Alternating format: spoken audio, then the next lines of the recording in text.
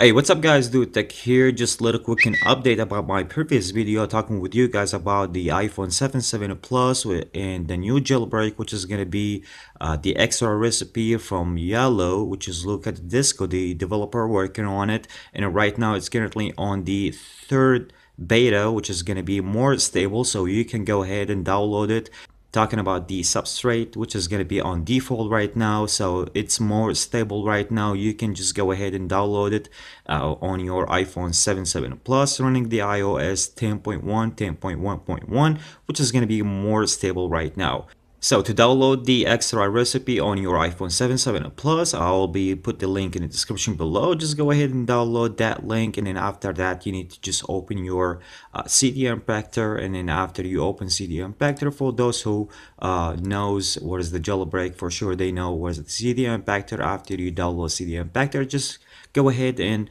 uh, plug your device by the USB cable and then uh, you need to sign in with your Apple ID and then after that you will be have the new jailbreak on your iPhone 7 7 Plus and as I said the substrate right now it's enabled under the default.